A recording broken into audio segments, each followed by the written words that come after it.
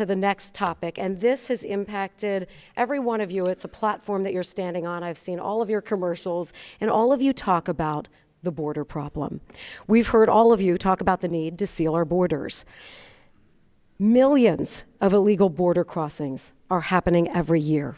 Deadly drugs like fentanyl, which, by the way, is a huge problem in Cincinnati and cities all across Ohio, are dealing with this. They are flowing across our borders. You all talk about the problem, but what are you specifically going to do to fix the problem and close our borders? Mr. Dolan, you have the first question. Thank you. First of all, there have been tremendous uh, re, uh, dis, there have been tremendous reinvention of themselves on this issue, and I won't even have to go into it. Just read what they said before they wanted your vote in a Senate uh, primary. They were for amnesty. They were for path to residency. They were for citizenship. I have been consistent in my position. We have a border issue in the United States. But under Joe Biden, it's a border crisis and it deserves to be responded as such. And I am the only one in this race who's called for securing and sealing the border, which means we are temporarily closing the border to immigration because we need to build a wall. We need to get technology. We need to give our Border Patrol more authority to act. We need to get Remain in Mexico in place so we're ready to, when you, if you're going to seek asylum in this country in the future, you're not coming into this country until it's granted. We need to go to Mexico City and make sure they help us and destroy the cartels. And we need to declare fentanyl a weapon of mass destruction.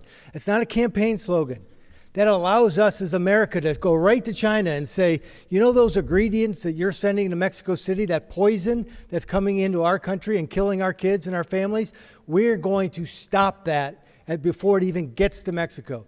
These are the things we can do, and we can do them right away. It just takes political will and someone who has the experience of actually executing. Mr. LaRose, same question. There's absolutely an invasion occurring on our border, and um, it is impacting every part of this country. There was a wonderful young woman just murdered in uh, Georgia just two weeks ago, and the blood is on the hands of these people in the federal government that refuse to do anything about it. Brown and Biden have made this problem worse.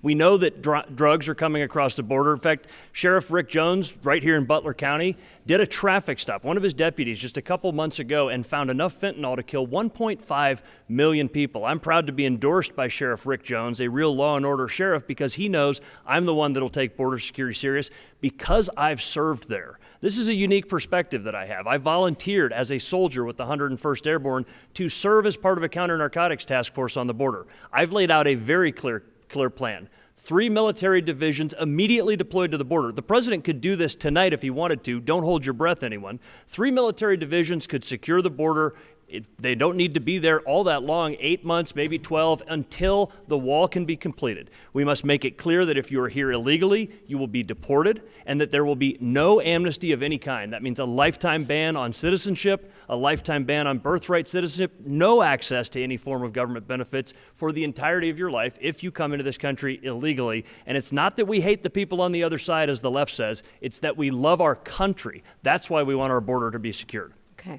We're going to touch on that in just a moment. Mr. Moreno? Sure. As, as you know, I came to this country legally as a kid from Colombia, South America. This is an issue that's infuriating to those of us who come into this country legally. This is the easiest problem to fix. The problem is our asylum laws are a loophole. We could have a million troops on the, on the border, but if our law isn't changed so that if you come in illegally, raise your hand and claim asylum, the law currently says you must be granted an asylum hearing. Now, what we have to do is make it very clear if you cross into the country illegally, you are immediately returned. You aren't arrested, you're not detained, you're just immediately returned, and you forfeit your right to make that asylum claim for life. If you come through a legal channel and you claim asylum, you wait in the pre- previous country, whether that's Mexico or Canada, until your asylum claim is heard. Just those two things is a one page bill that could get passed in Washington, D.C. today.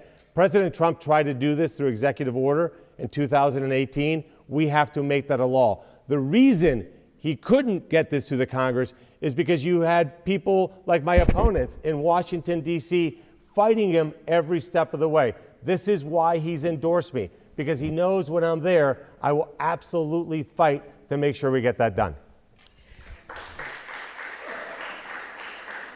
You've touched on this slightly, but just to clarify, what can be done about the people, the millions who we're talking about here, who've already entered our country illegally and who, who are now living here without a criminal record? Would e- any of you support a path to citizenship? Let's first begin with you, Mr. LaRose. Absolutely not. I said a lifetime ban for anyone that came into this country, which is interesting given that what Mr. Moreno just said, which is very inconsistent with what he said in the past when he wrote an op ed literally calling for a path to citizenship for those that are here illegally. This is why this man can't be trusted. He's constantly shifting his views on these kind of things. And of course, the asylum process has to be repaired. Anybody that came through two or three other safe countries to get to our country is not actually seeking asylum. They're trying to break into our country, and that absolutely has to be reformed. Mr. Moreno? So let's think about this for a second. Think about who's endorsed me in this race President Trump, J.D. Vance, Jim Jordan, Rand Paul, Ted Cruz, Marco Rubio, Mike Lee, 15 senators. Do you think that they would endorse me if I was for amnesty? I'll answer the question very simply, which you did not.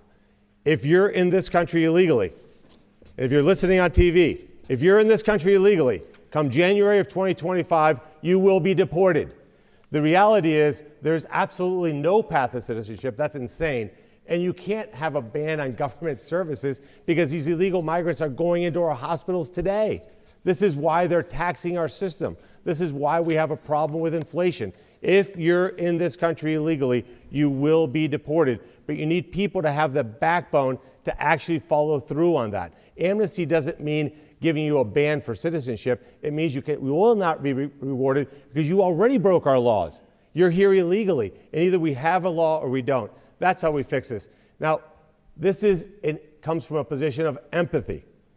What we're doing right now is the Hunger Games on the southern border. We have these liberals in Martha's Vineyard that are watching these migrants come across as if it's some sort of sick sport. They're getting exploited by drug cartels. We need to make it clear you cannot come here that way. You must come here the legal way. Thank you. Mr. Dolan? Well, as I said, we have got to secure and seal the border because what these guys have been talking about has been talked about in this country for over 30 years. We have a patient that's bleeding out at the table and they want to talk about cosmetic surgery. You have to stop immigration from coming into this country until we are prepared to protect this country, to know who's coming into this country, what they're bringing into this country. But here's where I'm different to them. When that happens, I understand this job. This job is to listen. And I know Ohio employers need help.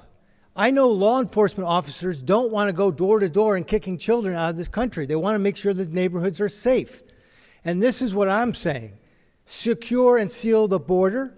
And if you are committing a crime here, you're gone. If you're not willing to enter into a process of getting an H1 or B, H2 or B, B1, B2 permit, then you're gone. Because we need the workers here. But if we had followed our laws that, that we have in place now, none of these tragedies would have occurred. If Remain in Mexico had stayed in place, none of this invasion would have occurred. So it's about getting the border sealed.